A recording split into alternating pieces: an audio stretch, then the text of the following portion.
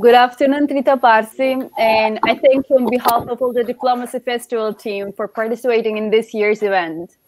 Um, thank you so much for having me.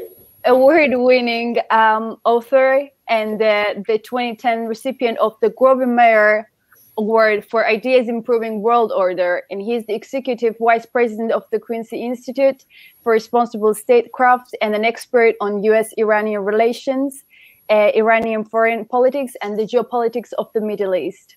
And we're pleased to listen to his uh, speech about the um, fundamental overhaul of the U.S. policy in the Middle East today. Thank you very much, and the floor is yours. Thank you so much. Thank you for having me, and always a pleasure to participate uh, in the uh, festival, even though it is uh, uh online this time around. I want to talk about the need for a complete overhaul of the US's foreign policy towards the region and approach to the region as a whole. I think it is quite clear, particularly to people here in the United States, that the last 25, 30 years of US foreign policy in the region have been a failure. Just take a look at the track record. In 1998, the region suffered from five armed conflicts. Today, there are 22 conflicts that are engulfing the region. This is, of course, not the fault of the United States alone in any way, shape, or form, but it is happening under the watch of Pax Americana, when the United States is dominating the region militarily uh, and is the dominant force uh, in the Middle East. It is happening also because of things that the United States has done. The uh, most devastating and destabilizing event of the last 40 years in the region is the invasion of Iraq, which was the fault of the United States itself alone. Um, so the question now has come, can minor arrangements and um, changes to the policy of the United States be sufficient to be able to bring the region out of the current state of conflict that it is in? Or is a need for a much broader effort needed? I would argue that all kinds of efforts of making small changes, however valuable, however important, ultimately have failed because they still take place within a context, within a paradigm that does not support those type of small changes. Let's take the JCPOA, the Iran nuclear deal, uh, as an example. This was an international multilateral effort. It was historic in the sense that uh, a major military conflict that was on the verge of, uh, sorry, a major conflict that was on the verge of becoming military was actually resolved without a single shot being fired through multilateral diplomacy and compromise. However, it was also something that increased the contradiction of America's foreign policy in the region. It meant that the United States did something constructive on the front with Iran, improved relations, dialogue, a real compromise that prevented the Iranians from being able to have an access to a nuclear weapon, but it also meant that the United States' reaction to that was to double down on the relations it had with Saudi Arabia, the UAE, uh, and Israel. So, for instance, before the 2016 elections, officials from the Clinton camp talked about the need to compensate Israel and Saudi Arabia for having struck the nuclear deal with Iran. That is a problem in and of itself because this was a deal that the entire world, with a few exceptions, supported. It was also a deal that was squarely in the interest of the United States to pursue. It was no need for the US to compensate anyone on the first ground, but more importantly, if now the United States was going to give more military support to Saudi Arabia, UAE, and Israel, all that would do is that it would further uh, inflame the region, further uh, push the balance of power in such a direction that the Iranians would feel a sense of threat and it would undermine the very effort of trying to get them off of the path towards a nuclear weapon. So even if Trump had not come in and destroyed the deal on his own, there's a significant likelihood that those contradictions actually would have caused the deal to collapse on its uh, own because of the fact that we cannot, on the one hand, pursue that path with one country and then double down on the old path with other countries. So I think in the rare occasions that even a deal like this has been successful, it's not clear, it cannot be durable unless it is taking place, unless it is embedded in a context, in a paradigm uh, that actually helps sustain it. And the critical thing that the United States has been doing for the last 25 years that I think has brought a tremendous amount of problems to the US itself is that he has adopted the position of being the military hegemon of the region. It has now 58,000 troops in the region, more than 19 bases throughout the region. Uh, and much of its policy is no longer dictated by any type of uh, national interest definition of what the region's importance is to the United States, but rather it is dictated by the bilateral relations that it has with specific countries in the region. The relationship of the United States with country A in the region is oftentimes a function of that country's relationship with Israel, Saudi Arabia, or the UAE, rather than an, an approach to the region seeking stability. Rather, the main goal of the policy has been control, not stability.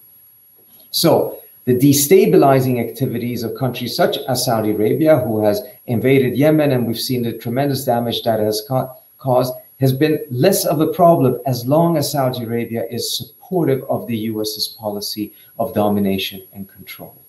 The end result, nevertheless, has been terrible for the region. We see the number of conflicts increasing, and it's been terrible for the United States itself because a policy of domination is precisely the reason why the United States has ended up in these many endless wars. And we can now hear it clearly from both sides of the political aisle in Washington.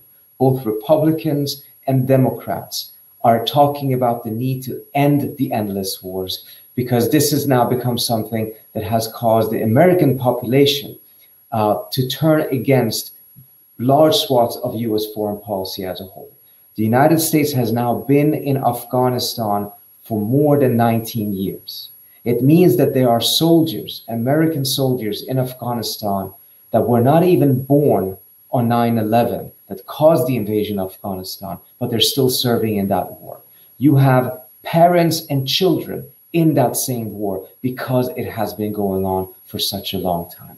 The idea that not only these wars can be ended, but that these wars would not have begun in the first place seems quite unlikely unless there is a reorientation away from dominance as the guiding star of the policy uh, towards something else. So, what would that something else be?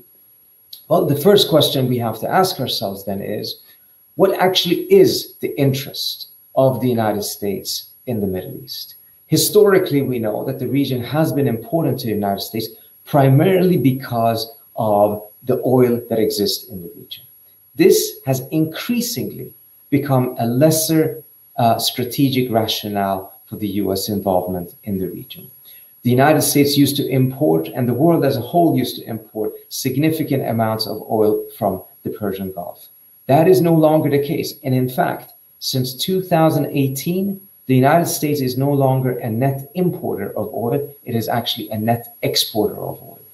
The key factor has, that has caused all of this is, of course, the shale oil explosion in the United States that has allowed the United States to dramatically increase its own oil production uh, and as a result become far less dependent on not just oil from the Persian Gulf, but from other regions as well. Secondly, it has been critical for the United States to make sure that because of the strategic importance of the region, that no hostile power from the region or from outside of the region becomes the hegemon of the region. This is the evolution of the Carter Doctrine that was changed later on by the Reagan administration that said that if the flow of oil is threatened by any country in the region or outside, the United States would intervene militarily. And we have seen the US do so in uh, 1991, for instance, when Saddam Hussein invaded Kuwait. The difference, however, is this. In order to prevent a hegemon from taking control over the region, which still today, even with a lesser strategic importance of the Middle East, would nevertheless be important for the United States. The United States itself does not need to be the hegemon, nor does it need to have a large number of military troops in the region. It can achieve that objective of preventing any regional or extra regional hegemon from emerging in the Persian Gulf without having large number of troops by simply having an offshore balancing posture that allows it to be able to intervene. In fact, that is exactly what happened in 1991.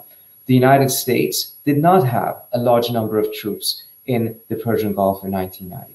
Saddam Hussein committed a very um, a serious mistake by invading Kuwait, and the United States led a UN coalition, and within six months, the Iraqis were expelled from Kuwait.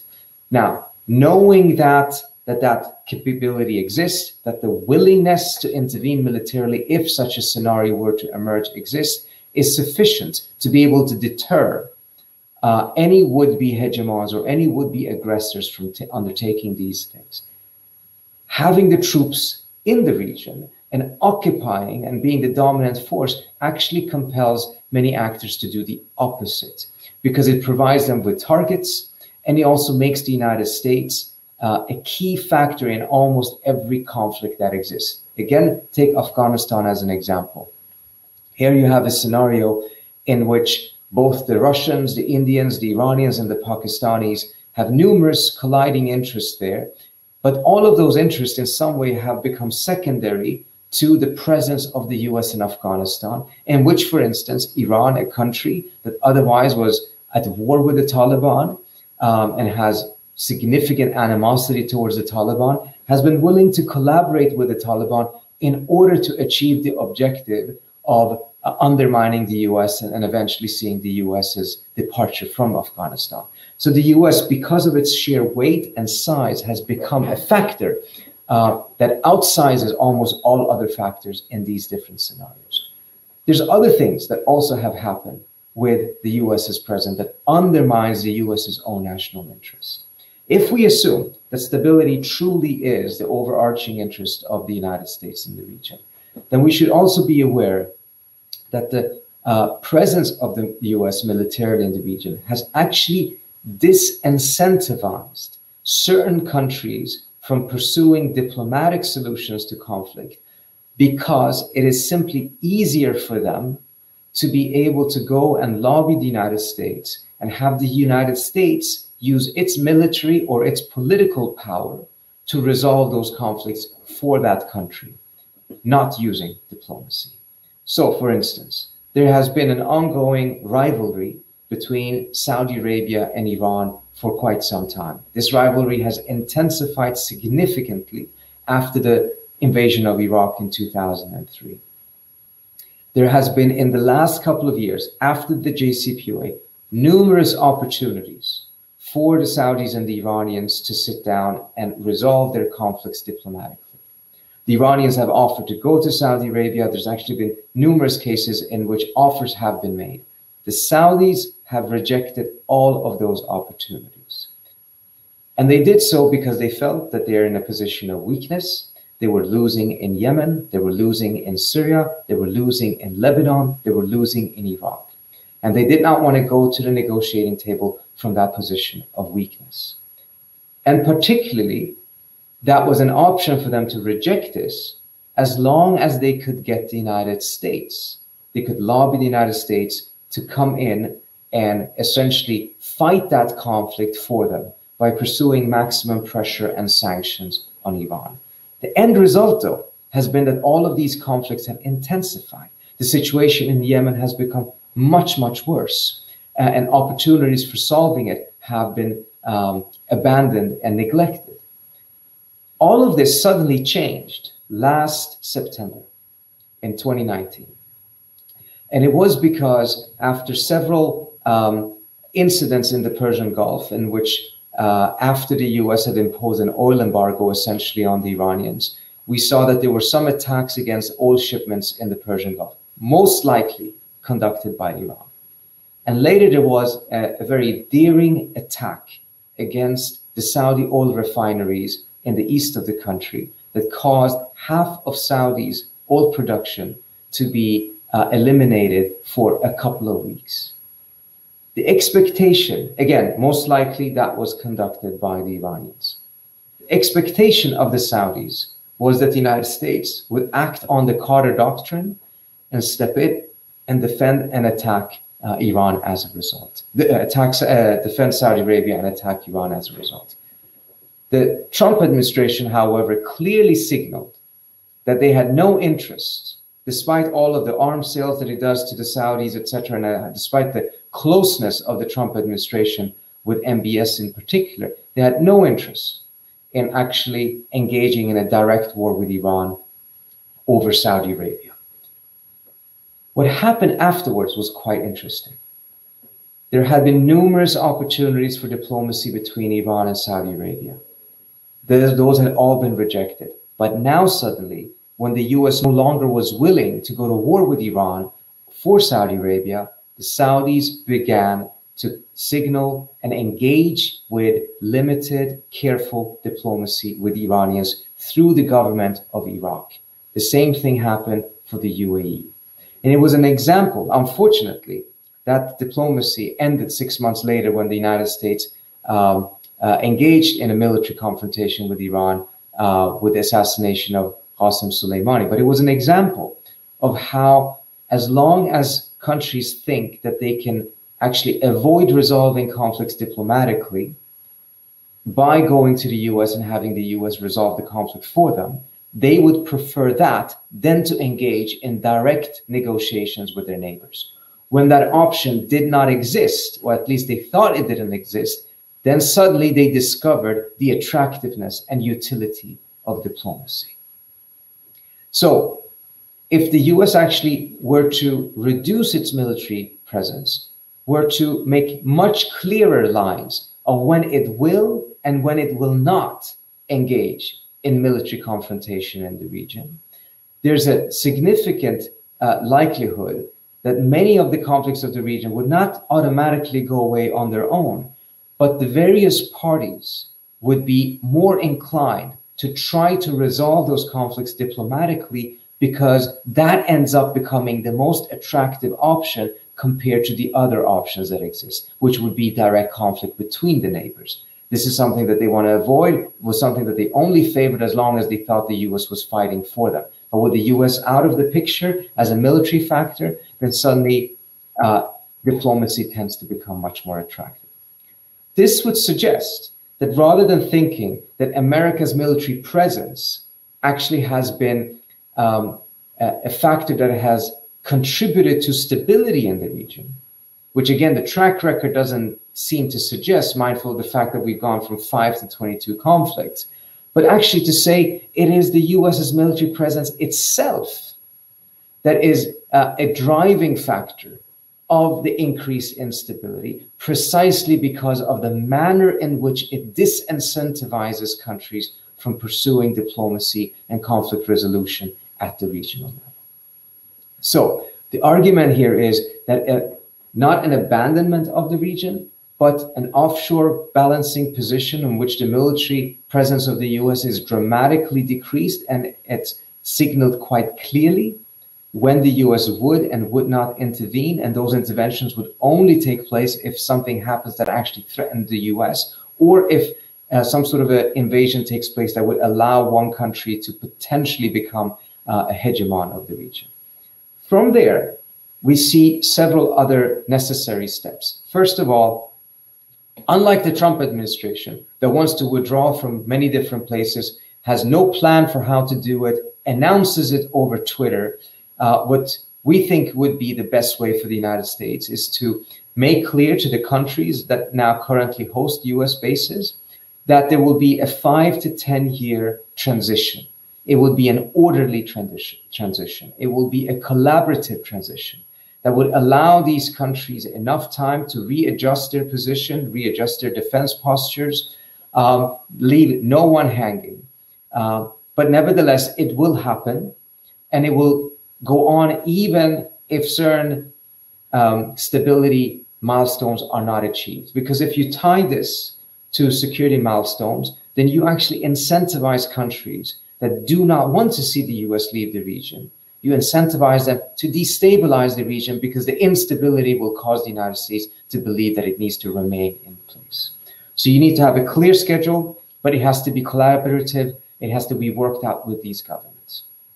From there on, the United States needs to engage with all of the region's actors. Part of the reason why the US actually has lost a significant amount of influence in the region is beyond its own military adventurism that has been quite strategically unwise. It has ceased to engage with all uh, uh, major powers in the region. We can see the rise of Russian influence in the region as being directly linked to the fact that the Russians are on talking terms and on pretty good terms with almost every major power in the region. So when uh, uh, diplomacy is taking place, the Russians are present, but that is not necessarily the case uh, for the United States. Let me give you one example that I think is quite telling here. When the Trump administration came in, uh, there was an ongoing negotiation, that the Geneva Channel, uh, that involved all countries, including Iran and Saudi Arabia, on how to resolve the Syrian conflict and reach a political solution.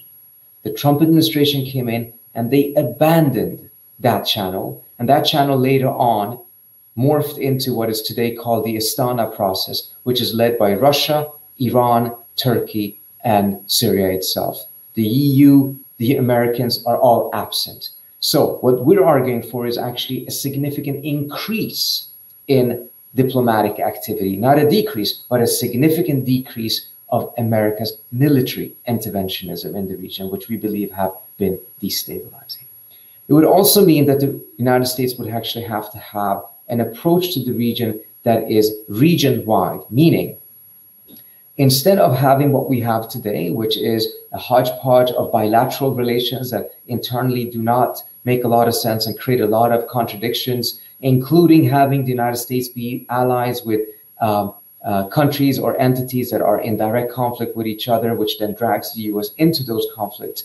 The United States should have an approach to the region as a whole, and the relations of the United States with individual countries should be adjusted to that regional approach, meaning there are neither any positive or negative exceptions. There are no special relations with Saudi Arabia, the UAE, or uh, Israel, for instance. Now, they may have relations with those countries, of course, that are quite different what the relations with the US would be to uh, uh, Iraq or a country like Iran, but meaning that we are not in a scenario any longer in which the security of a specific country uh, is more important than the national interest of the United States in the region as a whole. And unfortunately, that is what has largely been the policy of the US for the last 25 or so years.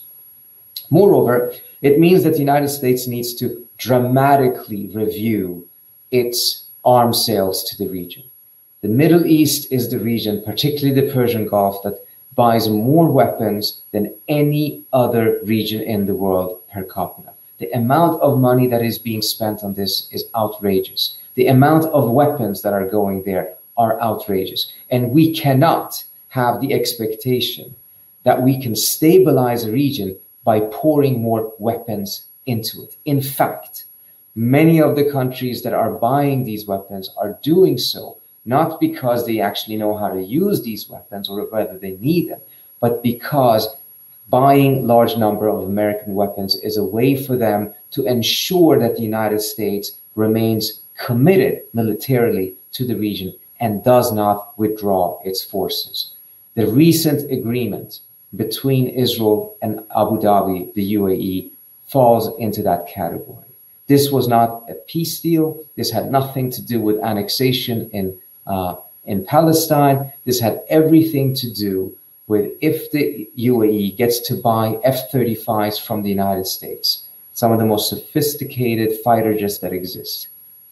This is a way for the UAE to prevent the United States from leaving the region because many of these countries in the Persian Gulf buy a large number of American weaponry, not in order to actually be able to use them, but because it's a way, as an informal way of making sure that there is a security commitment from the United States towards these states. Because if those countries buy those kinds of weapons, the US actually does have an interest in making sure that they win whatever wars they engage in. Um, this has been another destabilizing uh, factor for the region.